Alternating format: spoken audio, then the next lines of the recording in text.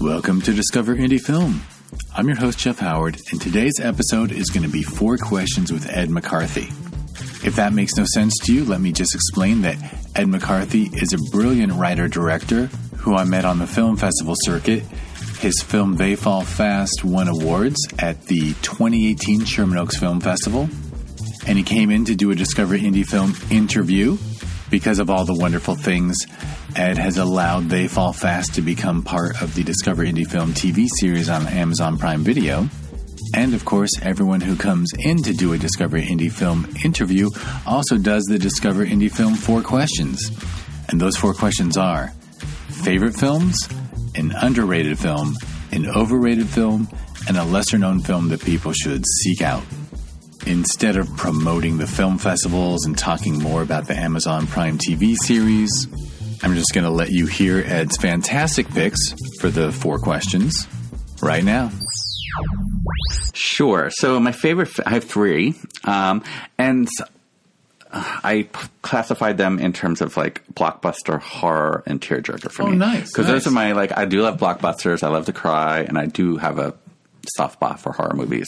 So in terms of blockbuster, uh, the, I'm going to be very cliche here, and The Dark Knight I do think is one of the best films ever made. Um, you know, it's a great tentpole movie, but it's also a good heist movie.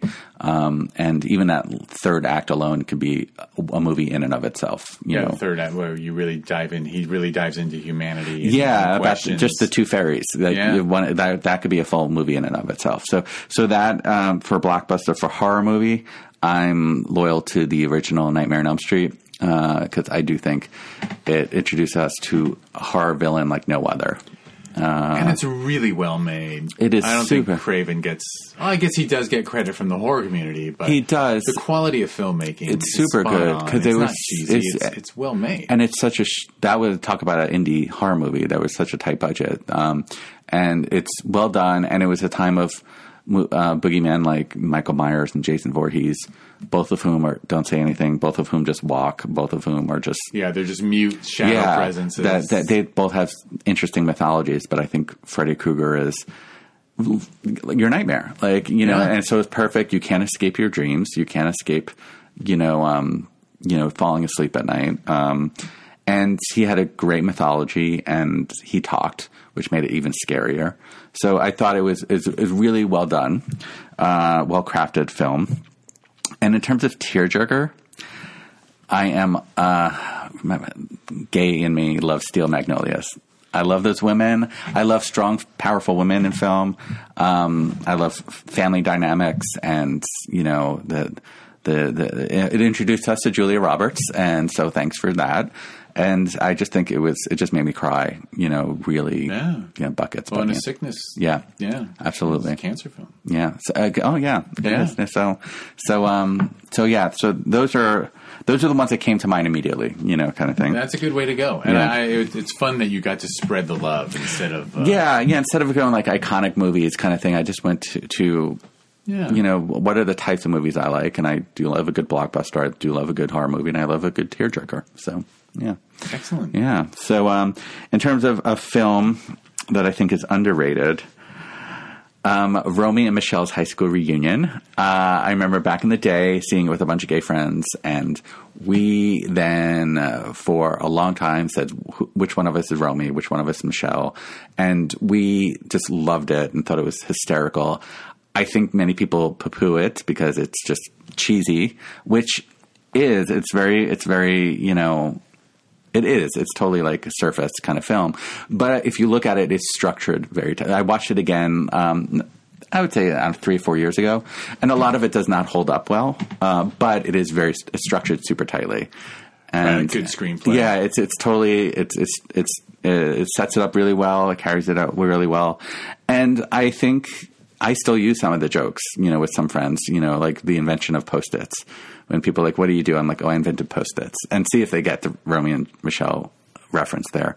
So um, I, I think that is an underrated film. Uh, a film I think is overrated. I'm going to go with La La Land. Go very recent. Um, I have friends who love it. I couldn't wait for it to be over.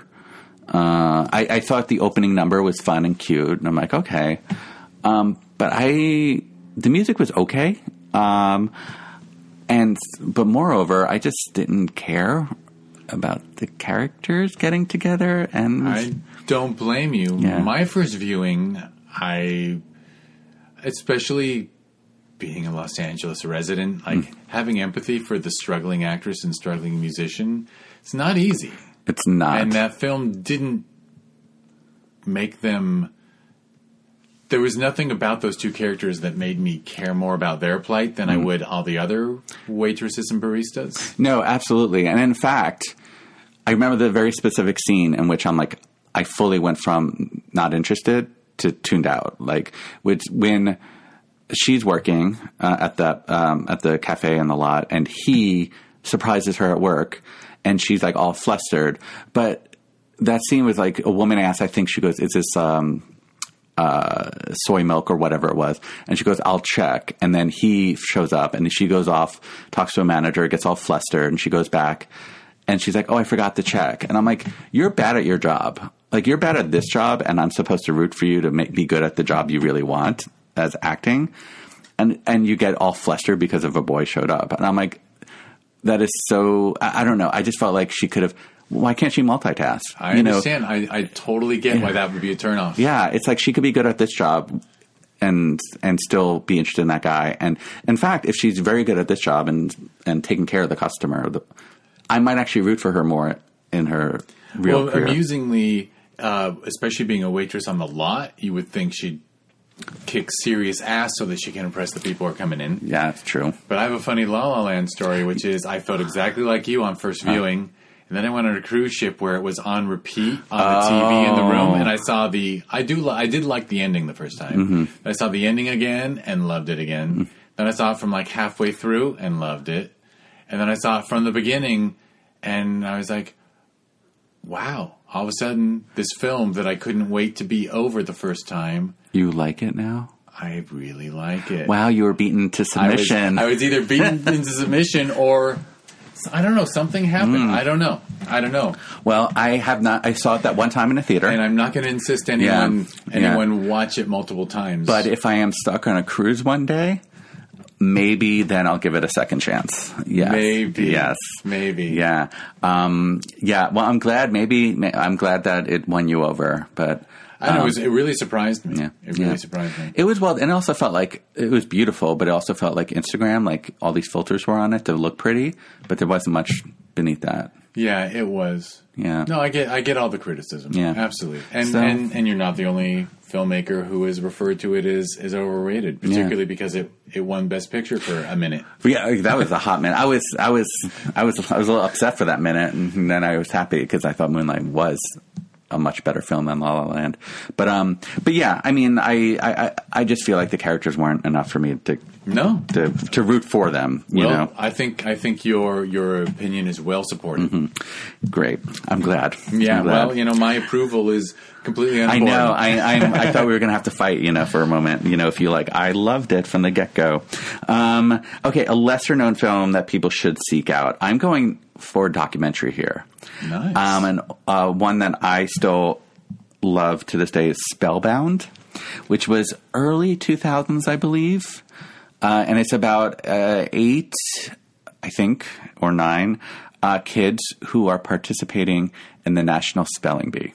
So we follow each one. They're from all different uh, geogra- uh, geographically. They're spread out, um, and also like social, economic, um, you know, race, religion, things like that. Um, so it's a r- really nice mix of kids and backgrounds, but they're all competing for the National Spelling Bee, and it is charming. Um, it is it is you fall in love with these kids and and where they come from, uh, different different work ethics, and then when they get to the spelling bee, I have never been in more like it's so suspenseful because you're yeah, so it invested. It's, like, it's like watching the the Super Bowl. yeah, you want you're rooting for like some of these kids. By that point, you have, you know, they're they're like kids, so you don't want to say this, but like some you are rooting for, and some you're like, no, I don't want you to win. Um, and you know, I'm on the you're on the edge of your seat. So I, I've never been in that much suspense in a documentary, and some movies can't reach this level of suspense. Um, you know, of who's going to win, or is it going to be one of these eight kids? Because you know. Um, you know, it's a documentary, so they may not be following the winner. So I think if you go into it not researching it, so you don't know who of these eight kids, if any of them, um, takes home the trophy, I think it's super. It's it's it's, it's well done. It's well structured, super well structured. That's a great documentary. Yeah. I, I actually did see it. Oh, good. Yeah. Yeah. Cool. I think it even led to uh, ESPN televising? Yeah, now that because I think it was after that documentary that spelling bees started appearing on. I would love it if that. press, I right? would love it if that's the trajectory there because yeah, because Yeah, just anecdotally, I, I feel like, like after Spellbound, like spelling, the national spelling bee kind of became a thing that the culture is a little more aware of, that that is um, which shows the power of film. that does show the power of film. Um, and I'm I'm I, I feel bad because I've never watched it on ESPN because I'm the one to be like, nope, I'll go to. I change the channel. And those were Ed McCarthy's answers for the Discover Indie Film 4 questions. I have to say, those were some fantastic picks. Uh, Ed has really good taste. And you know what? That doesn't surprise me because They Fall Fast is such a good film. Of course, he has good taste. I mean, I guess there's going to be people who make good films that don't have good taste, but I don't I haven't met one yet. And of course, I just mentioned They Fall Fast. You can watch Ed's superb film right now if you go to Amazon Prime Video, search for Discover Indie Film, and his film is in season two, episode three, with a film that is as good as his, I gotta say, a wonderful film whose podcast is coming out next, I think. That's Shark Week. And now it is time for me to do the house cleaning. I did mention in the intro that I met Ed at the Sherman Oaks Film Festival. I program that festival. If you want to learn more about it, it's every November. And you can go to the website at shermanoaksff.com or you can go to social media. It's at Sherman Oaks FF. And I also program Film Invasion Los Angeles, which happens every June. And you can learn about that by going to filminvasionla.com or at Film Invasion LA on Instagram, Twitter, Facebook. Another big thank you to Ed McCarthy for coming in and being a great sport about answering those questions. And thank you for listening. Oh, yeah. If you're listening, click subscribe and give this uh, podcast a five star review on iTunes, and I will send you a free gift. That's right, I'll send you a free gift. Probably a film festival t shirt, but only if you give that review and I see it. All right, bye.